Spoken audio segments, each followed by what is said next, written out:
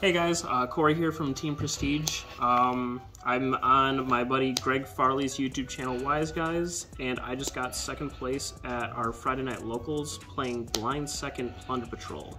Uh, my matchups, it was so it was four rounds. Um, I uh, played the Mirror round one, uh, one, played Sharks round two. That matchup is hilariously bad because all their monsters are water, so all I can summon is Blackbeards until I actually get into my engine. Uh, but we won that one. Then we played against uh, my buddy Aaron playing Kashtira, uh, beat him, uh, and then we played against another Kashtira round four, uh, and we ended up losing in a scenario where just got kind of unlucky, but also got greedy and misplayed. I realized I could have played out of it, but not the point. So we got second place, and I'm just going to show you the list.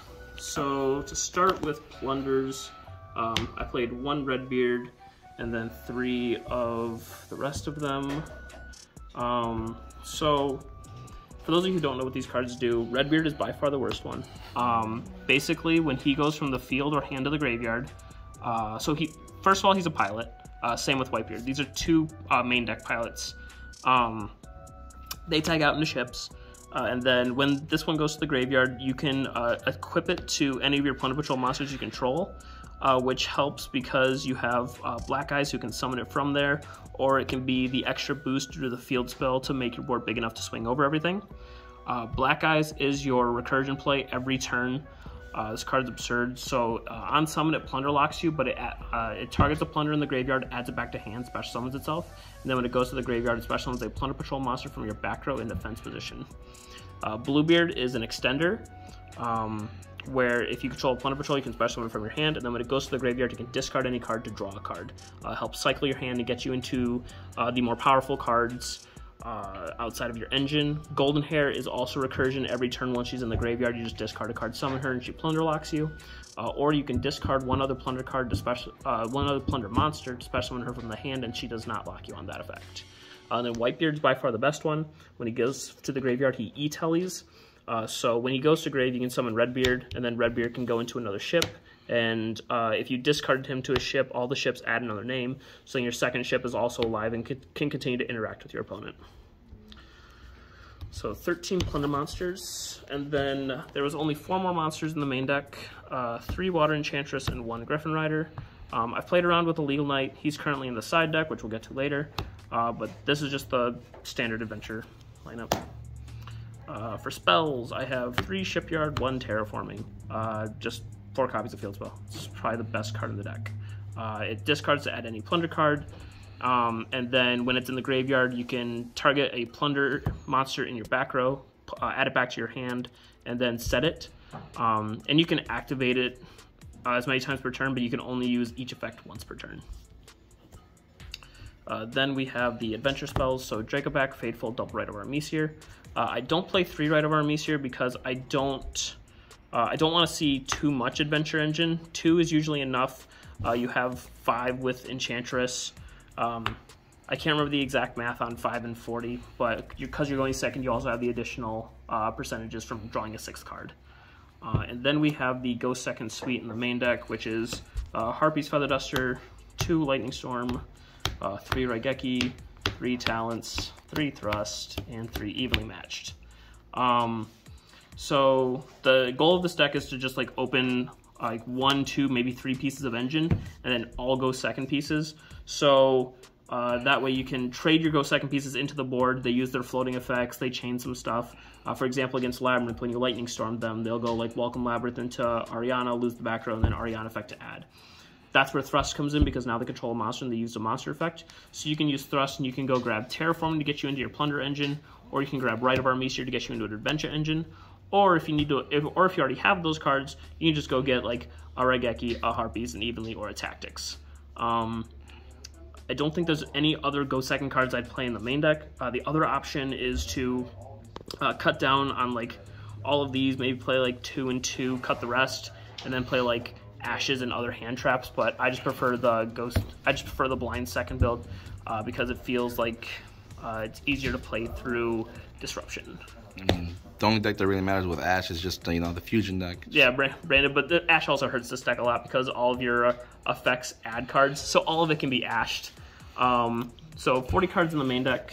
Uh, extra deck is uh, two light ship, two earth ship, two fire ship, two dark ship, um, and then three of the pilot.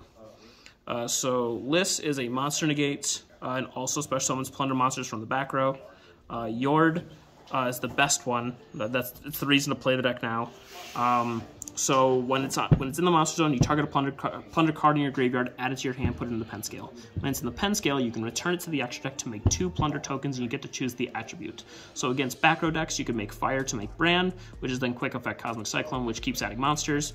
Uh, against uh, monster decks, you can make Moerk if they don't normally go into darks, uh, which banishes monster, adds a plunder spell or trap.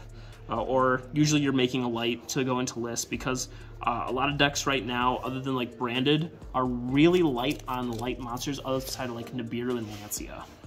Um, and then Blackbeard is just quick effect, target an effect monster you control, special summon a plunder ship from your extra deck, uh, so himself or any of these with an attribute of something in your opponent's field or graveyard.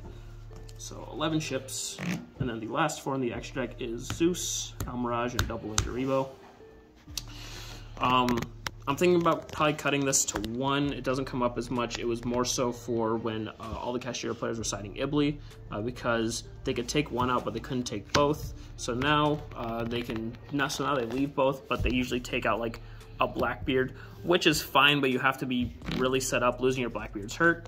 Um, and then Zeus is also because uh, you can go like Talents, take a Rise Heart, make a Zeus. I didn't want to be caught without it.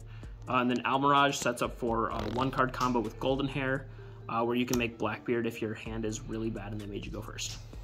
Or if you're locked. Or if you're locked. That, that also almost came up. Um, so, yep, 15. And then in the side deck, I played one Scarlight. This didn't come up. I didn't expect it to come up. I just didn't want to be caught without it. Uh, it's probably getting cut for other things once I figure out what I want to play. Um, I play the Illegal Knight. Uh, this is for like back row matchups, um, and also uh, just anytime I feel like I need an additional monster to go second. Same with the three copies of Fenrir in the side deck.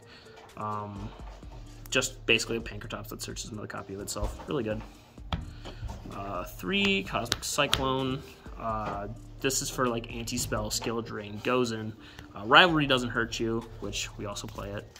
Um, so, and also for like Runick Fountain, uh, you just basically want to have another piece of removal so you can side out like your uh, Raigekis against Labyrinth for something that is still going to be impactful.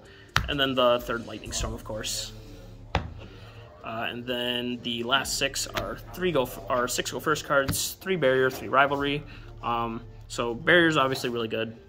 Uh, rivalry not only does it uh, let you play under it uh, outside of like your adventure engine, that's kind of touchy. Um, but when Yord gives them a token, you can flip Rivalry. So against like Sprite, you can flip this, have your whole board in defense mode, so that way they can't crash the token, and then they're locked into Fiends. And then on the next turn, because you accumulate so much advantage on every turn, uh, you're just going to end up killing them and having like 18,000 damage on the board.